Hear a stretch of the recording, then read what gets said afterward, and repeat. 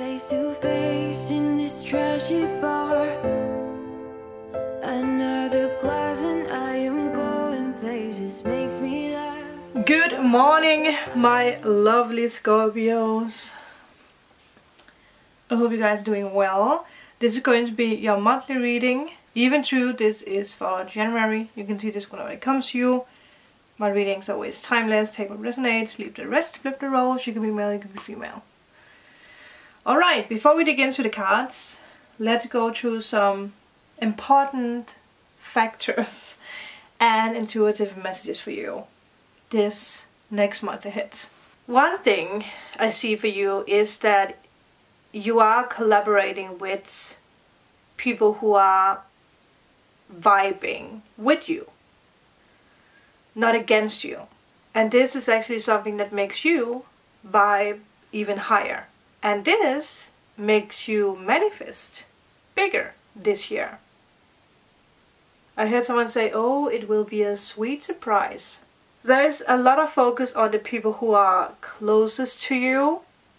You see, you feel, you realize something major that like unlocks a chain that has kept you stuck when it comes to relationships or friendships. And in the second half of January, the destiny driven North Node is moving into Taurus and your relationship house for the first time since 2004. So that's a long time ago. There might have been something that happened in 2004.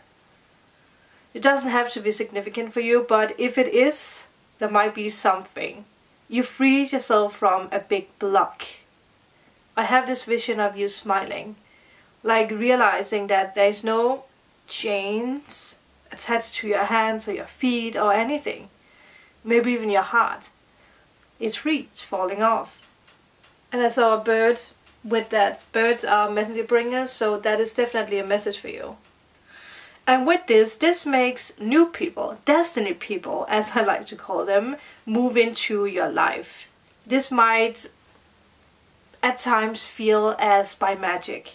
It's people who will be serious about the connection and the balance, the harmony in the relationship and the friendship. I also feel there is a lot of rebranding going on for you. This could be in many forms because this can be you rebranding you. This could be rebranding your company if you have a company or a project or something it's a very powerful time for you to let go and to shed off the old layers.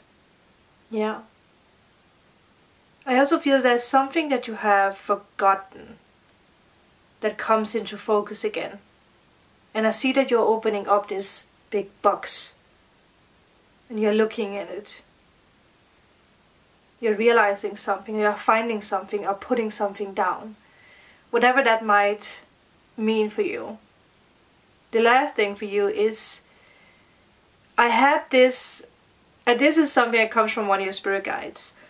Hold on with saying yes until next month. A raven is going to come to you, showing you the way. Follow and trust. As last words that I heard. Follow and trust. And with that, I think that we should dig into the cards. Follow and trust. The ravens that follow and trust. Tree. Everything comes in tree. We have a ship. We have ten. Wow. Mmm, beautiful. Sea turtle. Conservation. Make conscious choices. Very beautiful that you actually have sea turtle. Lovers. Mm hmm So first of all, we have a beautiful ship. The ship is movement. I feel that the recording is still very white. I am trying to put it down a little. The light is shifting outside all the time, so it might... I saw 707 with that, so the light might also shift. Um, while we do the reading. I feel that's actually something that's very symbolic for some reason. Because I kept being stuck in that. The light might shift a lot. Hmm. Whatever happens this month takes you on a new journey. Maybe on a vacation. It prepares you for something. Business trip. No matter what it is, you will need a suitcase this year. So whatever it is that you're planning or doing this year is very, very important for your, your future. Or this month. Whatever you do this month is very important for your, your future. This year is going to be massive for you. To the point where I don't think that you fully trust that it will be this big, but it will. You set the tone this month, I feel. There's something about where you are now and where you will be when we come to the end of the year. So maybe there is a move or there is something where you work a new place or new yeah new house new country a relationship whatever it is it stays at distance. You can see and feel the distance or the growth the jump. You'll be constantly in motion. And maybe this is this month you know you'll constantly have something that you want to do something you're organizing it's your life's journey. I really feel that you're playing the right game. The game of hope, the game of trust. The game of destiny. And with that, let's see what else we can get. The, the next cards are going to be very significant for this journey or for this ship. First of all, I paid attention to the two of wands and I paid attention to the eight of wands. Oh yeah, okay. Well, there was no need for shuffling this time. Hmm. Conscious choices. Conscious choices. You know, you're not just, you know, randomly picking. You know exactly where you want to go. And it makes sense that there is this this constant moving or yeah movement with the ship, I really feel some of you guys are going to go on a travel this year. It might not be this month. Well, for some of you it might be, but with this situation, a world situation, obviously it's not something that is that much out there, right? And especially with the Eight of Pentacles together with the Judgment card, this is fame. It's something you have worked hard on for a long time and you feel so confident in it that it will inspire other people. Just keep going. Keep this steady movement, motivation. Love what you practice. Live what you practice. Be proud of yourself. Be proud of your skills because you're mastering something very beautiful. So it could be a new job, self-employment. You're building a business, you're building an empire, you're building something. Something that you're very concentrated on something that you're very proud of. And like I said with the sea turtle, the sea turtle is a creature that is known to communicate with spirit world. It's a very intuitive creature. Which, you know, if you see it, it's not what you might think, but it is. It wants to help people and it comes to people to make them think bigger, being more flexible. Which actually fits into the bigger message that you got. It's a magical symbol of success in everything that you do, which just fits into the rest of the message. You're moving into a easier life with no stress. It's a clear path. It has no obstacles. No. I don't think that this can be more magical than that. You know what you want. You're going after it. You are not suddenly making a choice because they you are very precise. Very precise. Six of Pentacles. Yeah. The High Priestess. Very precise. Again, you're it's follow it yeah, it, it just follows the story, right? Because like we spoke about, the sea turtle is very intuitive. The High Priestess is very intuitive. I mean, I don't think this can be any... Ooh, more magical. Two of Swords. don't be afraid of making this decision. Because I think that you already know what it is that you want to do. And I feel there's something about investment or something that you might be a little worried about. Like, is this going to pay off? Is this the right way for me? Is this the right decision? And it is. It is. Trust yourself. Because what you can see with the Two Swords is that it's connected with the Justice card, it's connected with the High Priestess, and she like hides away her third eye.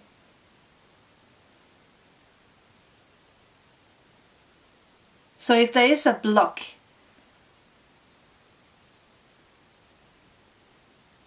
tune into your spirit guides. Every time that you feel lost, I feel that your spirit guides are going to be right there, giving you signs, a lot of signs. Let's take the book for the lovers and see what it is. Yes, it's love. Well, we actually do have the Page of Cups. So maybe you have been worried about a offer. I mean, again, in the sense of love, there's love in many things. Because with the cards here, there is a lot of focus on career and movements. But if there should, in the midst of you being so busy with all this, be a person coming in, could be a younger person, could be a earth sign, could be a water sign, no matter what, it is a, a sign and message of you being connected with your inner child. Allowing yourself to be sensitive. It's psychic energy, it's spiritual messages, which fit so well with the turtle. It's romance, it's you being artistic. And you being all that might actually open up for a person coming in. We will see what the cards has to say. It drives you forward and pulls you back to your heart. You're being pulled back to your heart. And I really trust and feel, also because they look up here, right? Maybe whatever you do now is preparing you for this romantic person, relationship. It makes the mind mad and breaks it open into enlightened compassion. It is love. Your yearning heart shall have it. Your destiny is to be the lover of the beloved. Remember, there's new people coming into your life. Destiny people. So, uh, it wouldn't surprise me that a soulmate is among them. Be open for it now. This oracle brings a message of love, love and love. It is finding you now. Be open to it in all its forms. Be the god and the goddess of love and paint the town red. Play in passionate embrace, with life as your lover, and prepare to receive even more than what you believe you are capable of handling. Another message of that. You already got that. But let's see if Spirit wants to give us some clues. Wow. Okay. so we have even more signs of travel. We have even more signs of success. There is Leo energy here and there is a knight. I feel that this is going to end up with you actually falling in love. And some of you guys might be like, I'm not interested in that. This is going to come in very surprisingly. When you are at the peak of your success, I don't think you're going to see this coming. And I think this is going to be very healing this person who comes your way sees you as a healer. And it might start out start out small because I feel that you have a lot of focus on success and yourself. And sometimes that is what breaks the spell, right? It could be someone with Scorpio or Sagittarius in their chart. But it's also just a hot mix of passion and ambition and desire. It's a hot pot of magic.